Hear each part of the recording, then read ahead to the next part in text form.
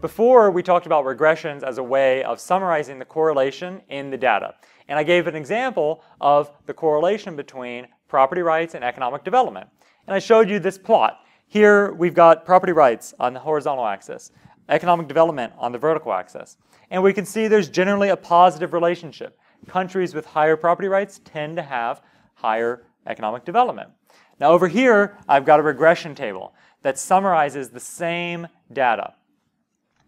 Now, here I've got my outcome variable, economic development, log GDP per capita in 1995. Over here are explanatory variables, average protection against expropriation risk, 1985, 1995. This is the same variable that's plotted on the horizontal axis, and this is the same variable that's on the vertical axis. And over here, in these two specifications, these are the only variables I'm looking at. I've just got two variables, property rights and economic development. And what's the relationship between them? So in the picture, we see a positive relationship, and in the table, we see positive numbers, 0.52. That says that in the data, property rights tend to be positively related to economic development. Now this number is just the slope of this line in the picture. That's all this number is. Okay. Now in this specification, we're only using 64 countries in the world. If you use all the countries, or almost all the countries, 110, we're going to get a little bit different line. So we plot, put a more dots in here with more countries. The line's going to change a little bit, but it only changes from a slope of 0.52 to 0.54.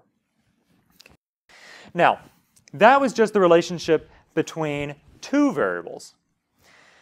And because of this application, researchers in the past have said, look, property rights may matter for economic growth, but other variables matter too, like geography. This is Jared Diamond's famous thesis in Guns, Germs, and Steel. He said, geography really matters. So in this paper, the authors want to know, okay, well, if I looked at countries with similar geography, is there still a positive relationship between economic development and property rights? So first, how are they going to measure what do we mean by geography? Well, one way to do this is how close is your country to the equator? So that's what this variable here, latitude, means. It's smaller, it's zero if you're at the equator, and it increases as you get farther from the equator. So let's look at countries that are just close to the equator and see for only those countries what's the relationship between property rights and economic development. That's what this column here shows us. Okay? If we look at the countries with the same latitude, then we get a relationship of, between property rights and economic development of 0.47. So again, we have a positive relationship. The interpretation of this number is the same as this. It says that countries with higher property rights tend to have higher um, economic development. Now, we also get another number. We get two numbers from this, whereas before we only had one number.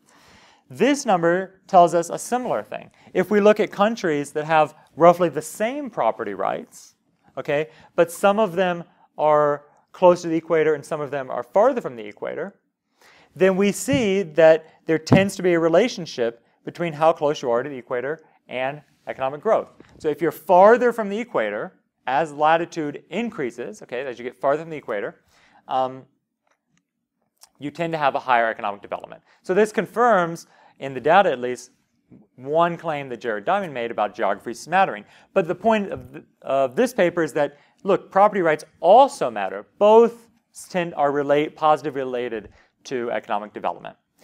Now you may think that just measuring how close a country is to the equator is a very rough way of defining what we mean by geography.